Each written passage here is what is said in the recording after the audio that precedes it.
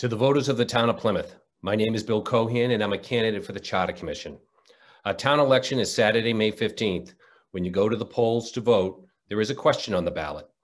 The question is, shall a commission be elected to review our town charter?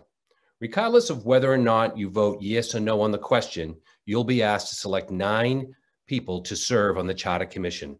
I would be honored if you would consider me for one of your nine votes. What does a Charter Commission do? The Charter Commission has charge of looking at the charter and making recommendations to the voters of Plymouth of what form of government we should have. I believe I have the qualities and experiences which would be beneficial to a Charter Commission.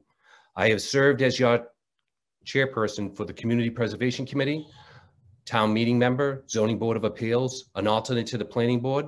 I believe my experiences working with the residents, the select board, the planning board, school committee, town meeting members, town hall employees and department heads has given me institutional knowledge on how the town government works now and how we can make it work better in the future.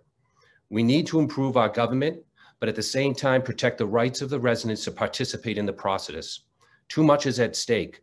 Our clean water, out of control growth driving up our taxes, and most importantly, protecting and preserving the best attributes of the town of Plymouth. I believe in a highly representative form of government, and I will work with other charter committee members to make the best changes in our form of government to protect the residents of Plymouth. Please consider me for one of your nine votes for the Charter Commission. Again, my name is Bill Keohan. Thank you very much.